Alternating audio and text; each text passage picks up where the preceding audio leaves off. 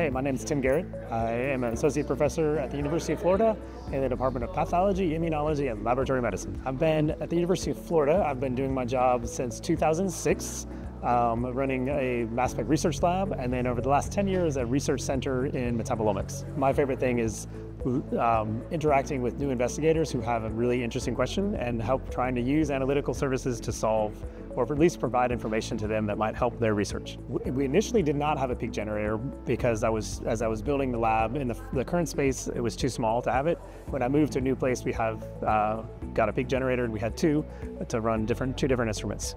We have a TSQ Altis that we've been using a peak generator uh, as a key resource to provide nitrogen that allows us to do flow injection analysis for, for clinical research and clinical diagnostics in the future. And we also use it for uh, Orbitrap Exploris and also Q Exactive.